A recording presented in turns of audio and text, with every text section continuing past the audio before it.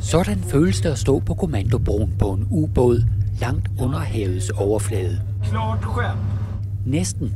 For den 50 meter lange og 800 tons tunge ubåd Neptun ligger nemlig sikkert på land i svenske Karlskrona.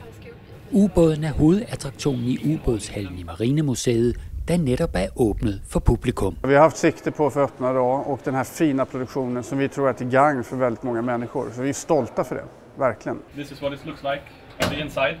Neptun, der var i tjeneste fra 1981 frem til 1998, udførte hemmeligstemplede operationer bevæbnet med 18 torpedoer. Under den kolde krig blev ubådene nærmest symbolet på aktioner bag fjendens linjer. Præcist hvad Neptun lavede under den kolde krig, er dog stadig hemmeligt. Neptun har gennemgået en omfattende renovering, men udstillingen giver et billede af, hvordan det var dengang. Jeg synes, de var rigtig gode til det. Alene det der med lyden og sådan noget, og det, når man kan komme ind i ubåden og, og se både den og den gamle ubåd og sådan noget, det var rigtig spændende, synes jeg.